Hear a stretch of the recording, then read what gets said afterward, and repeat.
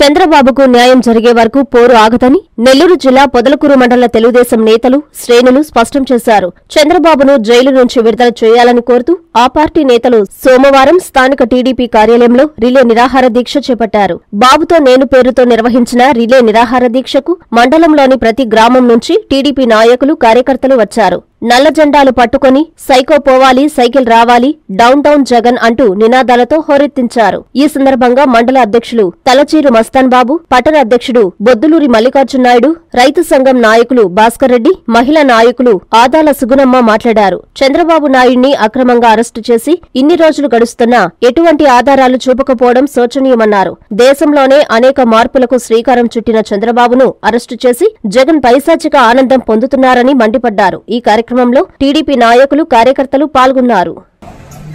ఈరోజు మాన్య శ్రీ గౌరవనీయులు మాజీ ముఖ్యమంత్రి వర్యులు నారా చంద్రబాబు నాయుడు గారి అక్రమ అరెస్టుకు నిరసనగా పగలకూరు తెలుగుదేశం పార్టీ కార్యాలయంలో పార్టీ తరపున మేమందరం రిలే నిరాహార దీక్షలు నిర్వహించడం జరుగుతుంది. ఈరోజు తెలుగుదేశం పార్టీ తరపున మా అధినేతను అక్రమంగా అరెస్ట్ చేస్తే నిరసన తెలిపేదానికి పొదలకూరు మండల కార్య మెయిన్ హెడ్ క్వార్టర్స్లో ఎక్కడైనా ఒక ప్రోగ్రాం మా- మా నిరసన కార్యక్రమం జరుపుకునేదానికి కూడా ఎక్కడ అవకాశం కల్పించినటువంటి ఈ ప్రభుత్వం. మా పార్టీ ఆఫీసులో మేమే కాదు రాష్ట్ర వ్యాప్తంగా కూడా తెలుగుదేశం పార్టీని కానీ చంద్రబాబు నాయుడు యొక్క అభిమానులు కానీ చంద్ర అందరినీ పార్టీలకే ఈరోజు ఈ ప్రభుత్వం ఎక్కడికక్కడ కట్టడి చేసింది. ఇది ప్రజాస్వామ్యానికి మంచిది కాదు. ప్రజాస్వామ్యంలో ఎవరైనా నిరసన శాంతియుతంగా నిరసన తెలుపుకునేటువంటి హక్కు ఉంది. కానీ ఈరోజు ఈ రాష్ట్రంలో నడుస్తున్నటువంటి వైసీపీ సెక్షన్లో ఐపీసీ వారంతా ఐపీసీని పక్కన పెట్టి వైసీపీ సెక్షన్లో అంబేద్కర్ రాసినటువంటి రాజ్యాంగాన్ని పక్కన పెట్టి రాజారెడ్డి రాజ్యాంగాన్ని అమలు అమలు చేసుకుంటూ ఈరోజు మరీ కఠినంగా ఈ పోలీస్ వ్యవహరిస్తుంది.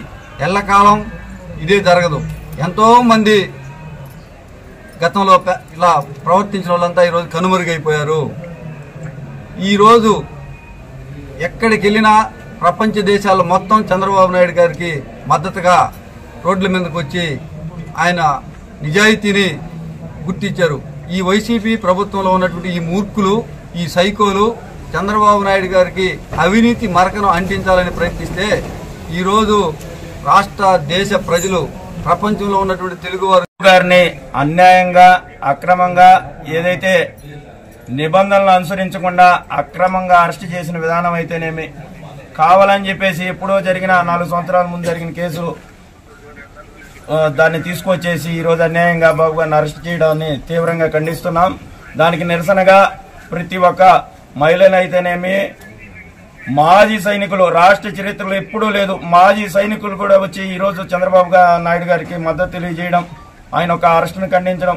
అదేవిధంగా హైదరాబాదు బెంగళూరు నుంచి వచ్చిన యువత ఐటీ ఉద్యోగులు వాళ్ళు కూడా బాబు గారికి ఈరోజు స్వచ్ఛందంగా రోడ్ల మీదకి వచ్చి నిరసన తెలియజేయడం. అదేవిధంగా ప్రతి గ్రామాల్లో కానీ మండలాల్లో కానీ జిల్లా కేంద్రాల్లో కానీ ప్రతి దగ్గర ఈరోజు నిరసనలు తెలియజేస్తున్నాయంటే ఒక్కసారి ఆలోచన చేయాలా? రాష్ట్ర ప్రజలు కేసు అక్రమ కేసు పెట్టి ఎంత దుర్మార్గంగా బాబు గారిని ఈరోజు డెబ్బై రెండు సంవత్సరాల ప్రాయంలో ఈరోజు ఆయన ఇబ్బందులు గురి చేస్తా ఉన్నారు. ఏమి చేయలేక చిన్న చిన్న బాబు గారు ఆయన అన్నిటి తట్టుకొని బెయిల్ కోసం పోరాడకుండా నా మీద ఈ కేసు పెట్టడం ఏంది? నేను ఏ తప్పు చేయలేదు వెంటనే కేసు కొట్టేయడం అని చెప్పేసి లాయర్ల ద్వారా వాదించడం జరుగుతూ ఉంది. ముఖ్యంగా ఈరోజు రాష్ట్ర అసెంబ్లీలో చూసుకోండి. చంద్రబాబు నాయుడు గారి అక్రమ అరెస్టుకు నిరసనగా పట్టుబట్టాలి చర్చించాలని పట్టుబడితే ఎమ్మెల్యేలని సస్పెండ్ చేస్తారు. ఇక్కడ వచ్చేసి రోడ్డు మీద ధర్నాలు చేస్తా ఉంటే కార్యకర్తలను మహిళలను ఐటీ ఉద్యోగులను మాజీ సైనికుల మీద కేసులు పెట్టి బెదిరిస్తూ ఈరోజు ఎంతో అక్రమంగా అన్యాయంగా గురి చేస్తున్న ఈ ప్రభుత్వం. ఈరోజే మా మండల అధ్యక్షుడు చెప్పినట్టు ఇండియన్ పీనల్ కోడ్ అమల్లో లేదు. వైసీపీ పీనల్ కోడ్ అమల్లో ఉంది.